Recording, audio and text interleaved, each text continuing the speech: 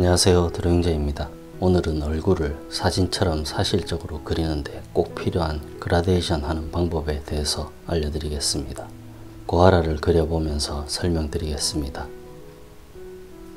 오늘 영상을 끝까지 시청하시고 나면 얼굴 그릴 때 그라데이션 기법을 활용해서 사진 같은 얼굴을 그리는 방법을 완벽하게 배울 수 있습니다. 영상 중간에 중요한 스킬을 알려드릴 거니까 영상을 넘기지 말고 끝까지 시청해 주세요. 강의를 시작하기 전에 구독, 좋아요, 전체 알림 설정을 부탁드립니다. 구독은 무료입니다.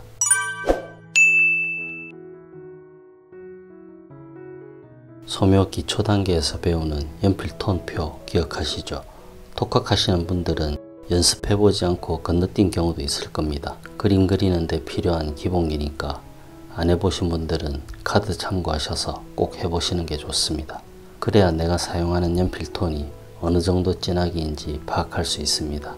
연필톤의 단계를 1단계부터 10단계까지 나눠줍니다. 나눈 단계의 경계를 그라데이션 합니다. 이렇게 톤과 톤의 경계를 부드럽게 풀어서 자연스럽게 만들어주는 겁니다. 예를 들면 속눈썹이나 머리카락, 콧볼을 그릴 때 이게 오른쪽 콧구멍입니다. 선을 사용한 후에 선 주변에 얇게 중간색을 넣어서 부드럽게 풀어주는 겁니다. 선이 얇을 경우는 찰피를 사용하면 간단합니다. 머리카락을 풀어주고 속눈썹도 풀어줍니다. 콧볼 라인도 부드럽게 합니다. 이 라인을 돋보기로 확대해 보겠습니다. 백배줌 고배율의 돋보기를 사용했습니다. 라인 주변을 연한 중간색으로 풀어줍니다. 간단하게 찰필로 풀어도 됩니다. 이렇게 하면 톤은 선명한 그대로이고 주변은 부드러워집니다. 뿌옇게 흐려지는 것하고는 다릅니다. 멀리서 보면 선명한 선인데 가까이에서 관찰해 보면 외곽이 부드러워서 주변 배경과 잘 어울리는 그런 선으로 그려주는 겁니다. 다 풀어줘야 되니까 톤을 나눈 표 바깥쪽도 풀어줘야겠죠. 이런 식으로. 얼굴의 모든 부분을 이렇게 그라데이션 해주는 겁니다. 이런 뾰족한 모서리를 둥글게 만들어주는 것과 같은 겁니다. 각이 있는 물체의 모서리를 풀어주면 이렇게 둥글고 부드러운 물체가 됩니다. 눈동자를 예를 들어 보겠습니다. 젤을 들면 무거우니까 눈동자를 그리고 나서 선명한 외곽선을 찰필로 부드럽게 풀어줍니다. 확대해 보겠습니다. 눈동자의 진한 테두리를 연한 중간색으로 풀어서 부드럽게 만들어주는 겁니다. 찰필로 정리합니다. 처음부터 찰필로 그려도 됩니다. 이렇게 색을 풀어서 부드러운 경계를 만들어주면 그림이 더 자연스럽고 사실적으로 표현됩니다. 얼굴 테두리도 마찬가지입니다. 머리카락과 만나는 얼굴과 목 경계를 이렇게 부드럽게 그라데이션 해줍니다. 얼굴에는 모서리가 하나도 없습니다. 테두리가 선명하면 뾰족한 부분의 경계를 표현하는 것과 같습니다. 그러니까 이렇게 그라데이션 기법을 사용해서 모서리를 없애고 둥글게 만들어줘야지 사진 같은 사실적인 얼굴을 표현할 수 있습니다. 모조리 없애버릴 테다 아닙니다. 모서리 없애버릴 테다입니다. 눈을 예시작으로 그려서 비교해 보겠습니다. 눈을 그리고 쌍꺼풀 주변을 풀어주고 눈동자 라인도 풀어줍니다. 속눈썹도 찰필로 풀어서 그려줍니다. 차이가 느껴지시나요? 아씨 별 차이 안 나는 것 같노. 차이가 나면 차이 나죠. 쟤를 때리면 재팬, 러시아가 전쟁을 하면 러시아워, 간장은 역시 몽고 간장. 눈만 비교했을 땐 큰 차이가 없을 수 있지만 얼굴 전체를 비교하면 차이가 많이 납니다. 눈꺼풀 윗부분 라인입니다.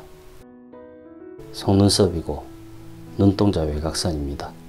이 라인들을 아래쪽 눈은 테두리를 풀어서 부드럽게 그리는 방식입니다. 이렇게 함으로 해서 더 사실적인 얼굴 그림을 그릴 수 있습니다. 지금까지 알려드린 그라데이션 기법을 사용해서 고아라 얼굴을 그려보겠습니다. 여러분은 얼굴을 그리실 때 보통 어떤 대상을 주로 많이 그리십니까? 아무래도 가장 가까운 가족이나 친구 그리고 연예인을 많이 그리시죠. 저는 얼굴 그림을 본격적으로 시작했을 때 그릴 대상을 구하지 못해서 정말 애를 먹었습니다.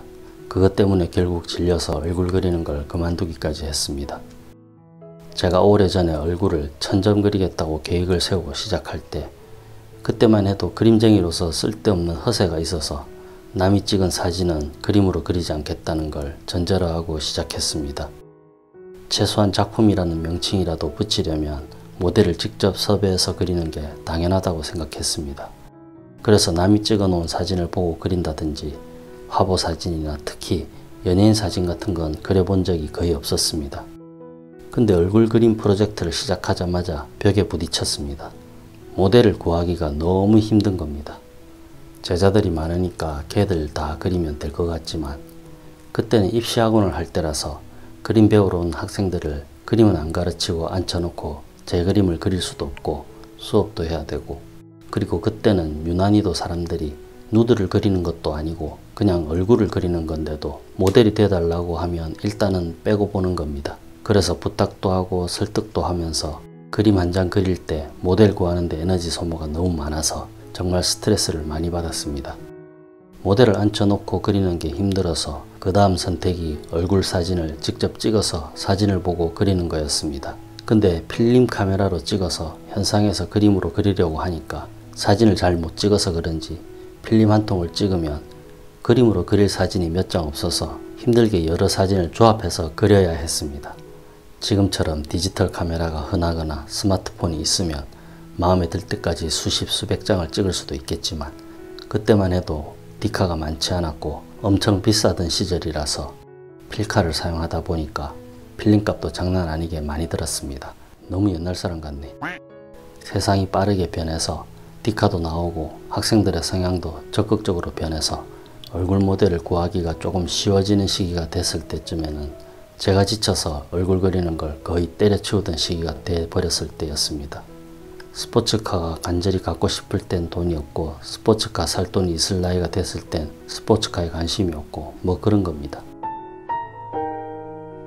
핑계 같지만 그때가 지금 같은 분위기였으면 얼굴 그림 천장을 더 빨리 채웠을 텐데 하는 아쉬움이 늘 있습니다.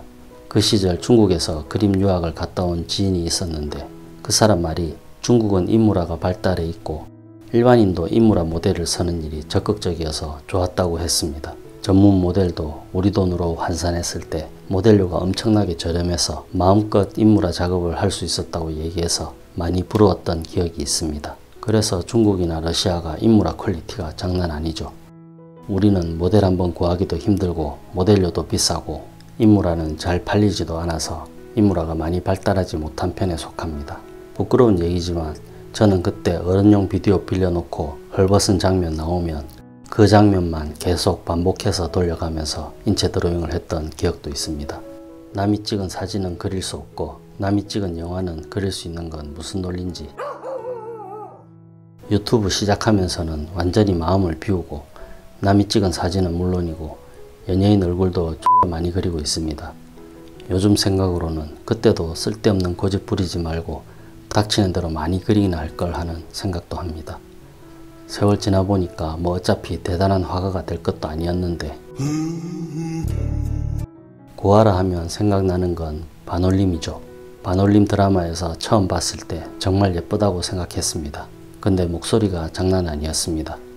여자도 변성기가 있는지 쇳소리 나는 목소리였는데 그래도 워낙 예뻐서 그런 목소리도 예쁘게 들렸습니다. 반올림 이후에는 아일락 광고에서 인상적이었습니다. 보일락 말락 아일락 롯데 칠성에서 나온 음료인데 지금은 단종됐죠. 광고는 떴는데 제품은 망했다는. 그리고 나서는 이상하게 잘 안 나오고 기억에서도 사라졌다가 응답하라 1994로 갑자기 빵 떴죠. 솔직히 응답 시리즈는 배우도 배우지만 감독과 작가의 역량이 장난이 아닙니다. 정말 잘 만든 드라마라서 몇 번을 봤는지 모를 정도로 여러 번 정주행했습니다. 응답하라 이후에도 고아라가 나온 드라마 거의 다 본 것 같은데 제 개인적으로는 아주 인상적인 드라마는 없었습니다.